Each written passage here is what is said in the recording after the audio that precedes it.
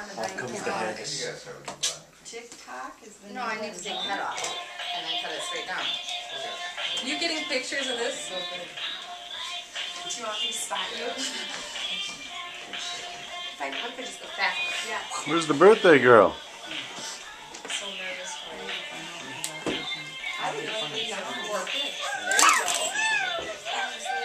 Decapitating the duck. Mm -hmm.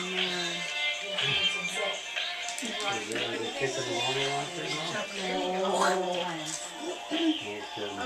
I gotta tell you another one about the twins. Uh, these are the Kren twins. Yes. What we call Rose in sixth grade.